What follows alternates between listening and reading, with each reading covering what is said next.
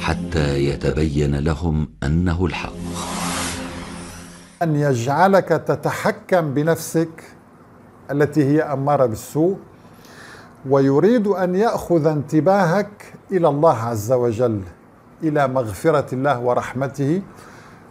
ولذلك ينبغي نحن كمسلمين أن نقول كيف نقوي ثقتنا بالله عز وجل وليس بأنفسنا لأن هذه النفس ستخذلك لأنها ستأمرك بالسوء.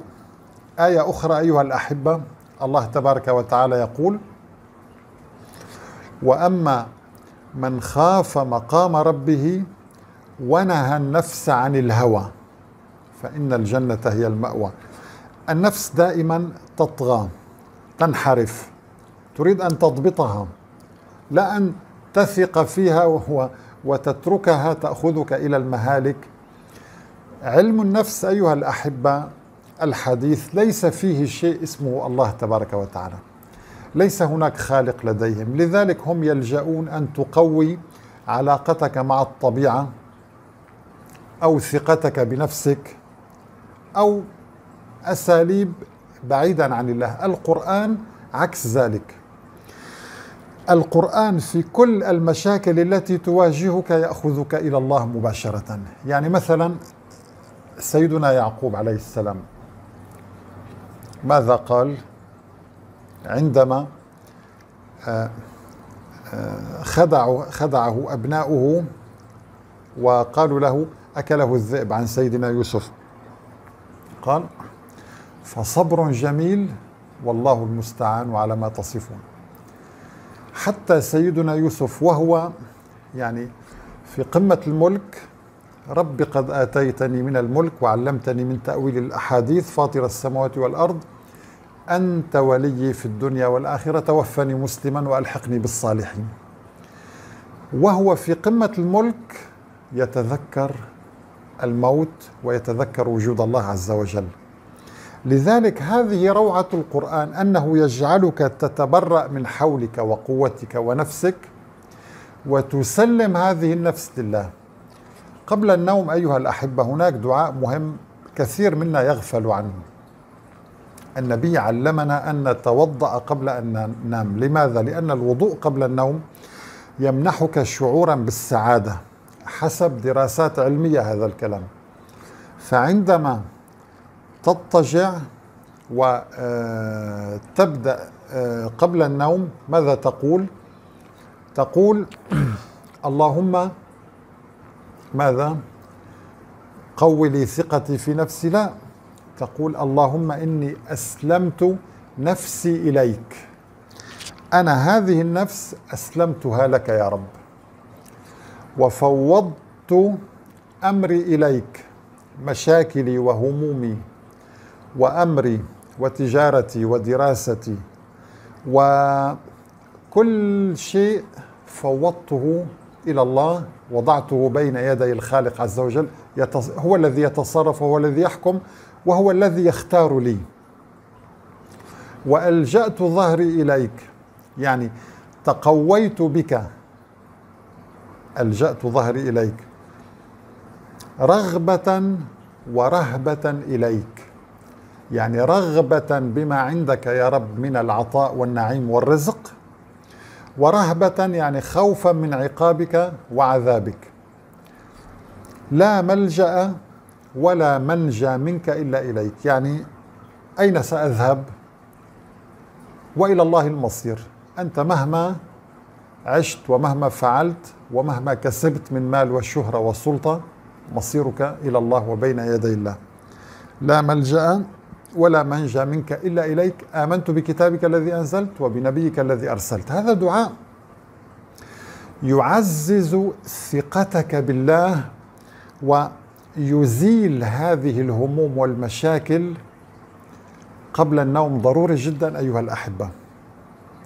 فاذا أيها الأحبة نحن إذا تأملنا القرآن نجد أن آيات القرآن تريد كلها أن تربطك بالله مباشرة. فيصبح لديك يقين أنه لا يضرك ولا ينفعك إلا الله. الله تبارك وتعالى قال وإن يمسسك الله بضر فلا كاشف له إلا هو.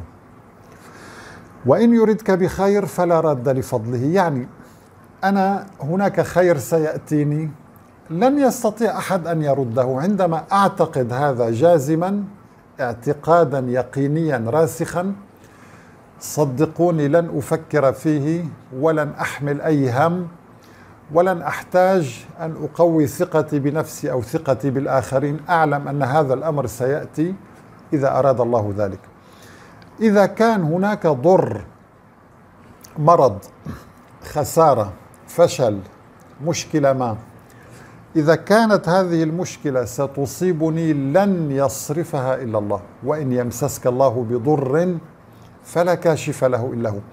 لا داعي للقلق لا داعي للتوتر لا داعي لأن أفكر أن فلان سيضرني فلان سيأكل مالي آه، تجارتي يمكن أن تخسر فلان سيؤذيني. آه هذه الأمور أيها الأحبة تنهك تنهك الإنسان وبخاصة في هذا العصر نحن في هذا العصر للأسف الهموم والمشاكل كثيرة جدا. صعوبات اقتصادية صعوبات حياتية اجتماعية إلى صعوبات أخلاقية شيء شيء يعني مرعب تعيش وضعا مرعبا. فإما أن تسلم أمرك كاملا لله عز وجل وهو يتصرف هو عز وجل أنك آه، ستخضع لهذه الهموم والمشاكل ولن تأخذ إلا ما كتبه الله لك.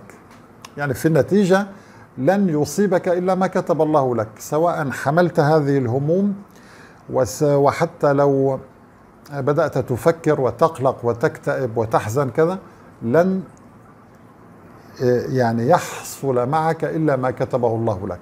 كما قال النبي عليه الصلاة والسلام اعلم أن ما أصابك لم يكن ليخطئك وما أخطأك لم يكن ليصيبك. اذا أي شيء سيصيبني هو بأمر الله. الله تبارك وتعالى يقول آه، في سورة التوبة قل لن يصيبنا إلا ما كتب الله لنا. هذه الآية رد على المشككين والمشركين والمنافقين. الذين كانوا يتشاءمون بالنبي صلى الله عليه وسلم آه، إذا أصابتهم حسنة مثلا آه، يتشاءم بالنبي عليه الصلاة والسلام إن تصبك حسنة تسؤهم إذا جاء للنبي خير يستاء منه هؤلاء المنافقون.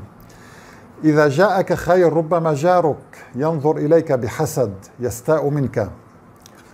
إن تصبك مصيبة يقول قد أخذنا أمرنا من قبل ويتولى وهم فرحون.